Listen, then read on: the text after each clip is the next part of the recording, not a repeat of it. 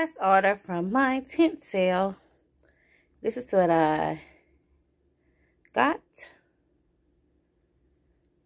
The last order that y'all seen. I will be giving that crossbody to my daughter. Because my husband got me this one. With the coin purse. So let's open it up. Hold up. Okay, you guys. This is a Katie. It's a little bit expensive.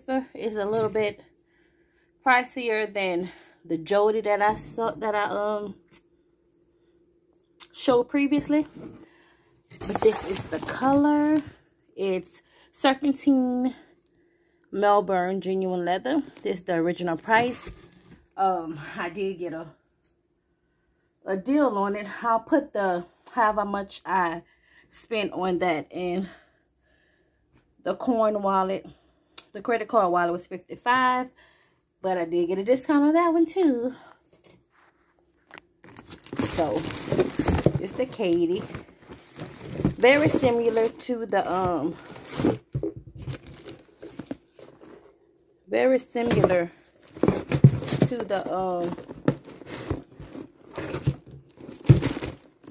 the Jody. See, the bottom is made different because this one have like a, where you can sit it up. The Jody, you can't sit it up. It's more like a, a real crossbody. But they do have the pockets in the inside, the zipper, and they all come with the dust bags. So you can, you know, put them away. And this is the key holder. And yeah.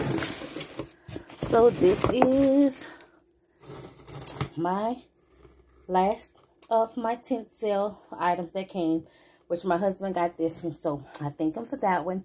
So I'm to bless my daughter with the others. Thank you guys. Just wanted to do this mini haul. Walk in love because Jesus is love. And if you love Jesus, you're definitely walking in love too. Y'all, share this to my Brahmin lovers. See you guys later.